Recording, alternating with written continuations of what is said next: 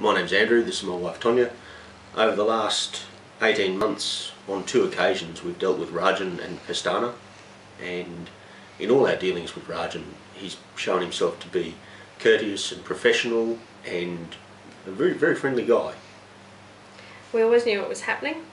Um, anytime they brought anybody to the house, uh, there were cards left.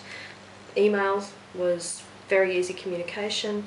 Um, Rajen called us at all, all the time to let us know what was going on, and he was always available if you had a question.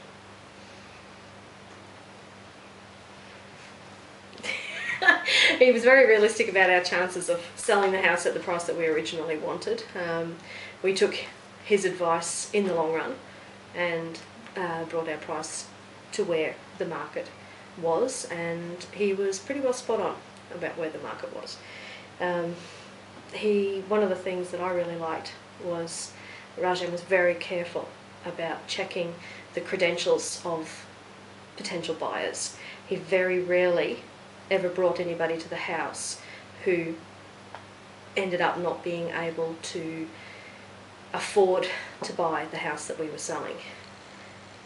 Um, we had previous offers with other agents or through other agents that were twenty to forty thousand less than we ended up getting um, through Rajen.